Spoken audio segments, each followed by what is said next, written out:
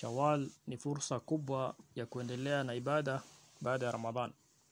Yeyote atakayefunga Ramadhan akafuatiliza na siku sita katika mwezi wa Shawwal ni kama amefunga mwaka mzima. Mtume sallallahu alaihi wasallam alifasiri hivi kupitia kauli yake akisema atakayefunga Ramadhan hiyo ni kama miezi kumi na saum siku sita katika Shawwal hiyo inatimiza saum ya mwaka mzima na pia inajaza upungufu ambaye ilipatikana katika mwezi wa Ramadhan. Siku ya qiyama sunna inajaza upungufu iliyokuwa katika fard kama ilivyokuja katika hadith. Inasihi kuanza kufunga siku sita za Shawwal kuanzia siku ya pili katika Shawwal. Kwa sababu siku ya Eid haifai kufungwa na ni sawa Muislamu kufunga siku yote ambayo anataka katika Shawwal lakini bora zaidi ni afanye wepesi kumaliza siku sita za Shawwal. Ni sawa pia akifunga zikifuatana na akiruka siku zingine.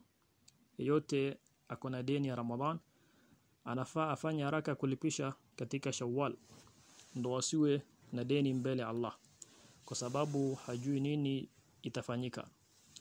Kwanza anzi kulipisha deni ya Ramadhan halafu afunge sita katika Shawwal ndo aweze kutimiza Ramadhani yote halafu aanze sita. Haiswihi kuweka nia moja ya kulipisha Ramadhan na kufunga sita ya Shawwal kwa sababu hajatimiza Ramadhan. Lakini inaswihi kuweka nia moja ya ayamul bid na kufunga sita katika Shawwal. Na pia ni bora ndoa iwe katika Shawwal. Aisha radhiallahu anha amesema Mtume sallallahu alaihi wasallam alinioa katika mwezi wa Shawwal na nikah ilitimia katika Shawwal.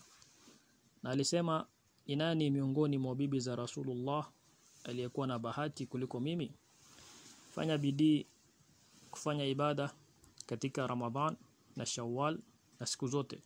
Hassan al-Basri alisema Allah hajajalia amali ya mu'min iwe na mwisho mpaka ile siku atakufa